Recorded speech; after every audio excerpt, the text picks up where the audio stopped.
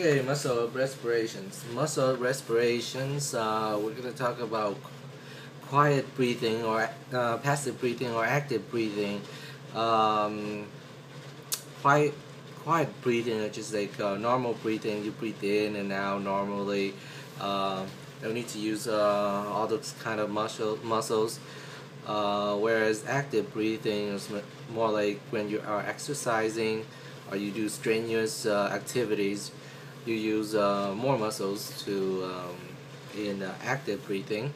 Um, in quiet breathing, during inspirations, you, all you use is the diaphragm. All you use is the diaphragm, which contracts. The diaphragm, when it contracts, uh, the domes of the diaphragm will descend and thus increasing the longitudinal dimension of the thoracic cavity and it also elevates the, the, the ribs um, and that will lead to inspirations.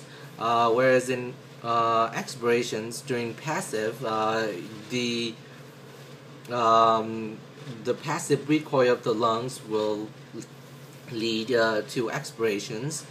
Um, in active breathing, uh, where you do exercise, strenuous exercise activities, um, during inspirations, what you need uh, are the external external intercostal muscles, which are uh, which are these external intercostal muscles contracts, uh, and the scalene muscles. Scalene muscles are um, the ones that uh, attach to your ribs, first, second ribs, um, and the sternocleidomastoids.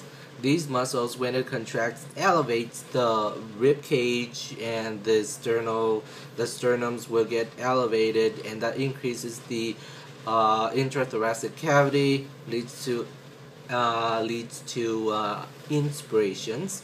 Um, during active breathing, expirations during active breathing, what you need are the internal uh, intercostal muscle, the internal intercostal muscles right here, and uh, you also need the abdominal muscles to do it, um, which include the internal, uh, the internal oblique, uh, the external oblique, the transversus abdominis muscles, and the main one would be the rectus abdominis muscles.